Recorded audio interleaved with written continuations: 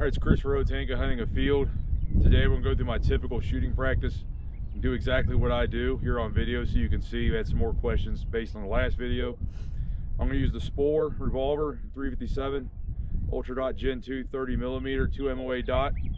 And uh, we'll start with some freehand, and then we'll work into some prone. What we got is we got eight inch targets at 50, 70, and 106. There's a raccoon that the center core of it's about 9, 10 inches. A little bigger target so it shows up on the GoPro camera. So hopefully you can pick up something from this and you'll see exactly how I practice to get ready in the field.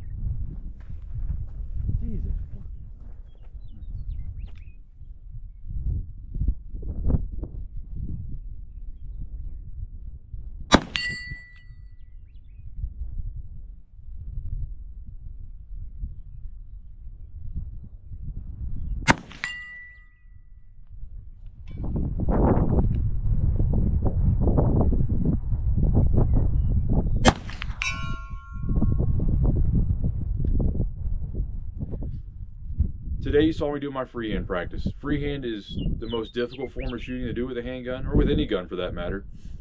Uh, but you have to practice it or you're going to fail in the field. In the West, I find myself having to shoot this way often, doing spot and stalk type hunting. And it's very important that I know what my limitations are doing so. And the only way to find those out is through practice. Today you saw me in the standing shooting at the 50 and the 70 yard target. And then due to the wind shaking me around so much, at the 106 I had to go into double kneeling. The lower you get, the more stable you'll be even in perfect conditions, and the wind is even more important. So that double kneeling gave me the stability to hit the 106 yard target.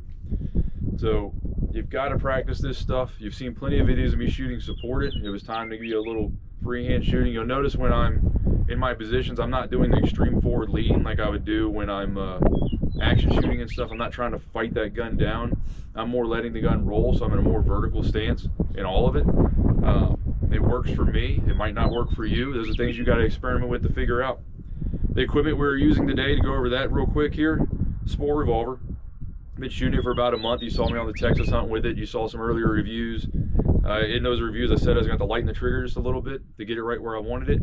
Actually, after getting a oh 150ish rounds through there, it's broken into the point now where I don't need to do a thing. This gun's basically ready to go out of the box. It just needs a little bit of break-in period shooting, and it is just right there and ready to go. Accuracy is phenomenal. I can't say enough about that. Um, they have uh, some Nill grips getting ready to come out. Uh, Nill's a European company that makes handgun grips.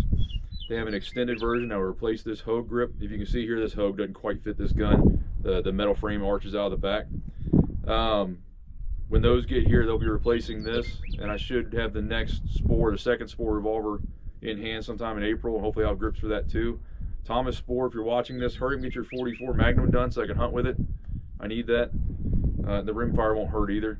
Um, on my sighting system, Ultradot Gen 2 30 millimeter 2 MOA. For some reason, Heather Roach at Ultradot listened to me a couple years ago and made this. Absolutely my favorite sight. Glass is clear. The dot doesn't get distorted in the sunlight at all. Two minute dot is perfect for holding on game. Um, so a two minute dot at 100 yards covers two inches. At 200 yards covers four inches. So if I mean that's smaller than all of your vital zones on animals. There's no problem holding that on game. And uh, and for range compensation, they do make dial models. The way I use most of my dots is I know my dot size, I know my target size by back to brisket measurement, or at least roughly what it is, and I know my range. I can estimate and hold the way I need to with this. That's how I made the 220 yard elk shot this year. Um, and some of my other shots on game this year with a handgun is I use my dot and my known target size to do my hold. Uh, cutting edge bullets, the uh, 105 handgun Raptors, they shoot amazing. We know they kill. You've seen video or not videos. You've seen blog posts on that. You've seen my reports on those on how they're taking game out. Uh, when you're looking at them accuracy wise, uh, in the extreme long range rifle shooting stuff, everyone who's winning is shooting cutting edge bullets.